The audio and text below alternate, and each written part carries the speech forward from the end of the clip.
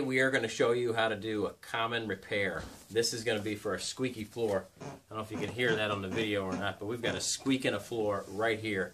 But before I do, let me talk to you about our channel. This is Home Maintenance Solution, and if you think this video is going to be helpful to you, please click like below here. Also, somewhere on the screen, you're going to see a logo of our company. If you click on that logo, then you subscribe automatically to our channel, and that way you automatically get our videos every time we put a new video out, too. So that'd be a good idea, too. Also, a reminder, click on those ads because if you click on the ads, the companies that advertise on our channel pay for these videos and not you.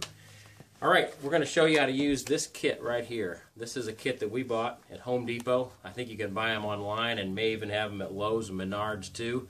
But it's called Squeak No More. I'm going to show you how to do it next. Okay, the first step is to find the joist. And we have a squeak right here in the floor.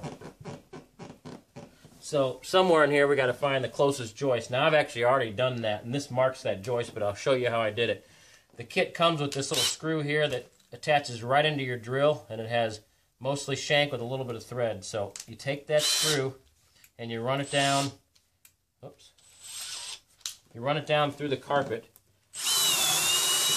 And it, won't. It'll just slide in here if it's not grabbing anything. If you get over here to a joist, you'll see that it grabs. And that tells you right where the joist is.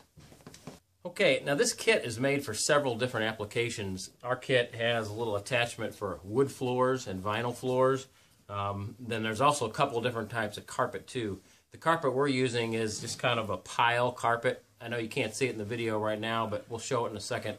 Um, where just the, the, the threads or the, the, the, the carpet doesn't have a loop to the threading in it. But there's carpets like Berbers and other um, carpets with a design in them sometimes that have a looped pattern. And if you run a screw down in and grab that thread that's looped together and it twists onto the screw, it can actually ruin your whole carpet. So that's something to be aware of. Now the kit comes with an example screw. I don't know if you can see this on the video or not, but this came in the kit like this with the with this tape over it. Um, this is an example of what you need to do if you have a Berber or loop style carpet. The tape will keep the screw from grabbing the threads on the carpet and it'll go right through. So just keep that in mind before you get started and end up with a worse scenario than what you started with. Okay, now that we have the joist marked, the joist run this way, we're going to run our screw through. We're going to use the depth gauge that they have with the screw inside of it. We're going to position it right over the joist. And I'm stepping down in this area to keep the plywood down to the joist so that I can grab it with this screw.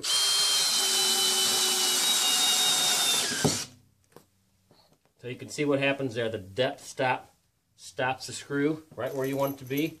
We're going to put another one in. We're going to go about four inches over from the other screw.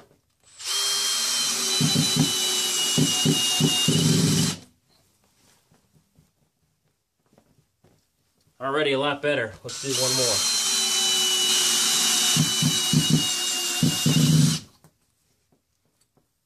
Don't think I quite got that one in all the way, so I'm going to go ahead and try to hit it again here. Okay.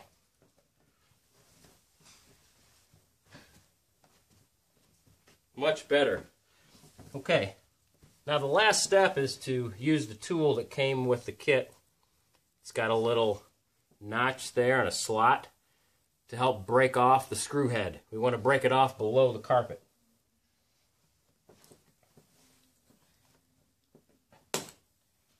Slip that on there, and the screw is designed to break off at the score mark.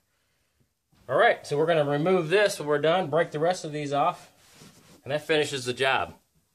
Okay, that finishes us out for this time. A little simple tool called Squeak No More, and a way to take the squeaks out of your floor. Now you go ahead and try that at home and work on bringing your family home.